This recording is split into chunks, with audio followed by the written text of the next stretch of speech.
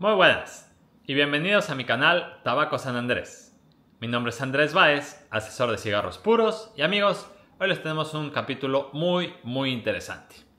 Ya el capítulo pasado o en algunos de los episodios pasamos hemos hablado del bicho del tabaco, la famosa Lacioderma cerricorne. Y hoy vamos a hablar de cómo combatir y cómo evitar al 100% que nuestro humidor se infecte de este bicho del tabaco o la famosa Lacioderma cerricorne. Pues bueno, como muchos de ustedes ya saben, vamos a congelar nuestros tabacos. ¿Cómo vamos a hacer esto? Los meto en el congelador, ¿verdad? Pues sí, pero ¿cómo vamos a hacer esto? Hoy les vamos a enseñar paso por paso cómo hacer para meter nuestros tabacos al congelador sin que se lastimen, sin que se rompen las capas, sin que se lleguen a afectar y los podamos fumar. Eh, vamos a hablar de los tiempos, vamos a hablar de las temperaturas, vamos a hablar del proceso paso por paso para que todos ustedes eh, puedan usar esta técnica y así evitarse que su humidor se infecte de Lacioderma cerricorni. Pues bueno, amigo, lo primerito que vamos a hacer es saber cómo nos llegan nuestros tabacos.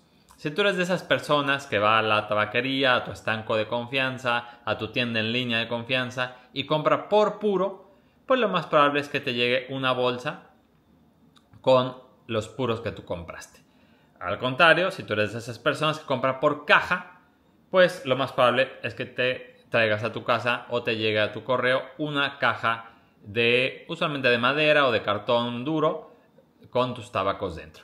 Pues de las dos maneras, amigo, vamos a utilizar exactamente lo mismo. Lo primero que tienes que hacer es buscarte una Ziploc, una Ziploc nueva.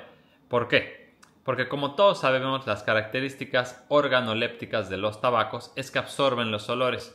Y si tú utilizas una Ziploc que ya utilizaste para guardar alguna verdura, alguna fruta, tu puro va a absorber esos aromas. Entonces vamos a utilizar una Ziploc nueva, vamos a meter nuestros tabacos dentro de la Ziploc Acá yo traje una, una Ziploc bastante grande. ¿Por qué? Porque hoy vamos a hacer el ejemplo con una caja entera de puros que vamos a meter al congelador. Entonces, ¿cuál es? Lo primero que vamos a hacer es conseguir nuestra Ziploc. Este proceso, amigos, de verdad que es súper importante que lo hagan con todos los puros que ustedes vayan a meter a sumidor. Oye, es que los compré en la casa de lavano, mételos al congelador. Oye, es que los pedí en la tienda en línea de Tabacos Andrés, mételos al congelador. Oye, es que se los compré a un amigo en Facebook que es súper confiable. Mételos al congelador. ¿Verdad? ¿Por qué? ¿Por qué les digo esto, amigos? Nosotros como tienda, como tienda, le compramos a todo mundo. Yo le compro a J. Fernández, le compro a Vanos, le compro a Drew State, le compro a todos. Y ya me ha pasado, no voy a decir marcas ahorita, pero con tiendas de gran renombre, con grupos tabaqueros muy grandes, que tiene la Lacioderma cerricorne. Y no es su culpa. Eh, la es un, es un insecto que es muy difícil de controlar, muy difícil de aniquilar.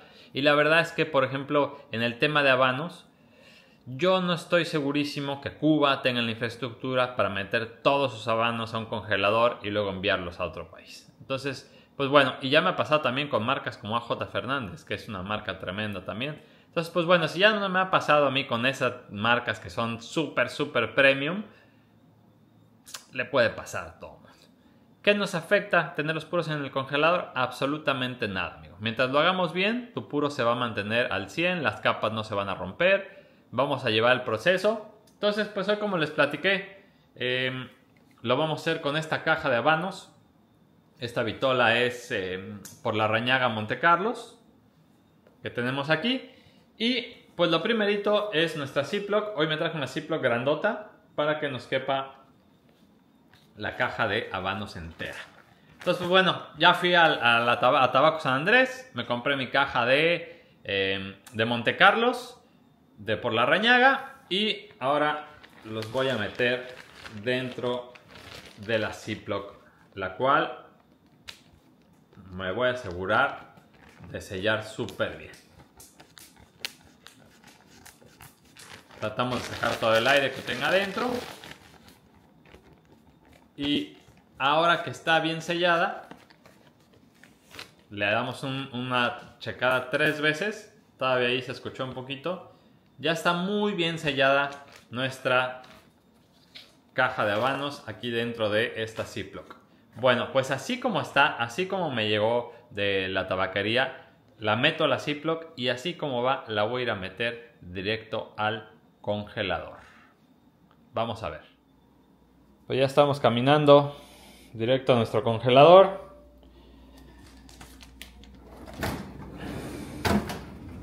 Ahí tenemos la carne, los hielos, las paletas, todo. No importan los olores que tenga el congelador porque viene dentro de esta Ziploc que está muy bien sellada. Y ahí la voy a dejar por un lapso de 24 a 48 horas. Amigo, ya pasaron esas 24 a 48 horas. Vamos a ver cómo están nuestros habanos eh, por la Reñaga Monte Carlos.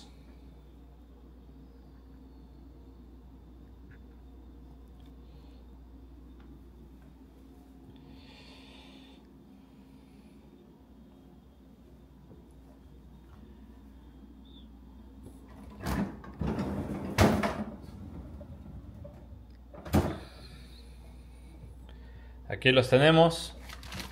Bueno, pues después de 24, 48 horas, están muy fríos. Y lo que vamos a hacer para mantener las capas sin romperse es algo que no es tan recomendable a la hora de conservar nuestros habanos. Pero yo en especial que vivo en Cancún, los cambios de temperatura son muy bruscos ¿verdad?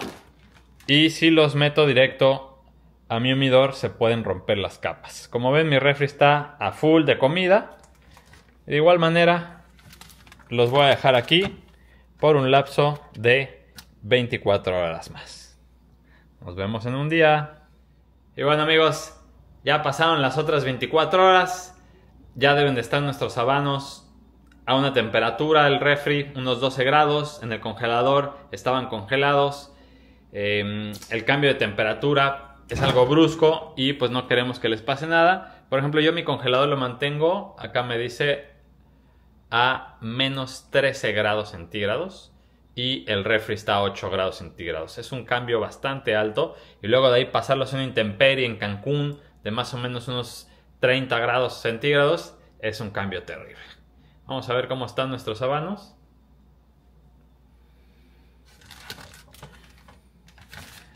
Acá los tenemos intactos.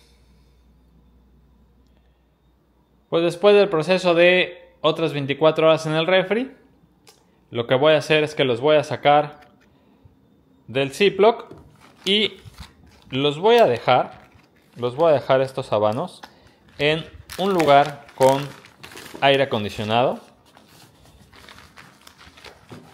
para que, de nuevo, el cambio de temperatura no sea tan brusco, ¿verdad? De preferencia que no les dé mucho el sol, pero acá los vamos a dejar en el comedor, donde tenemos aire acondicionado las 24 horas. Y después de estas... Que se, que se ponga en ambiente, ¿no? O sea, si en el refri estaban a, a, a 8 grados Celsius, Aquí con el aire acondicionado lo tenemos a 25 o 26. Bueno, pues lo vamos a dejar unas 4, 5 horitas para que se mantengan, eh, se vayan aclimatando al, cambio de temperatura. ¿Por qué hacemos esto del congelador al refri, del refri al aire acondicionado? Para que las capas no se vayan a, romper cuando el tabaco se eh, expanda por, por la humedad. Y ya por último amigos, pues nos vamos de regreso al humidor. Varios de ustedes ya conocen mi humidor, ahí lo tienen. Entonces pues ya estuvo nuestra cajita dentro de una Ziploc. Estuvo 24 48 horas en el congelador.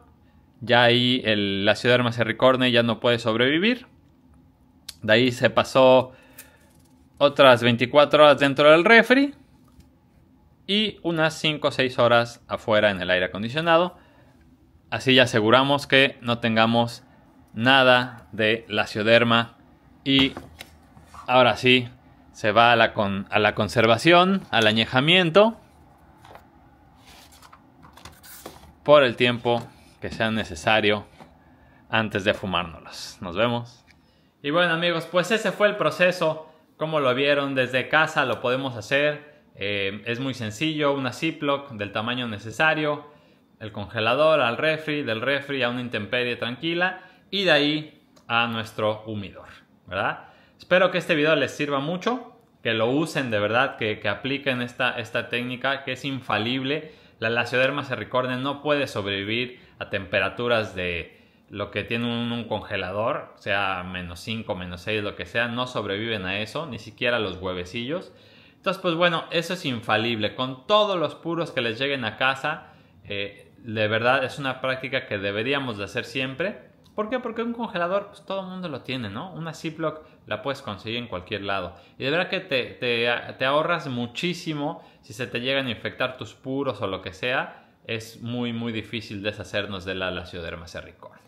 Pues bueno, espero que les haya gustado este contenido. Em, que nos sigan en redes sociales como Tabaco San Andrés y visiten nuestra tienda en línea www.tabacosanandres.com. Nos vemos la semana que viene.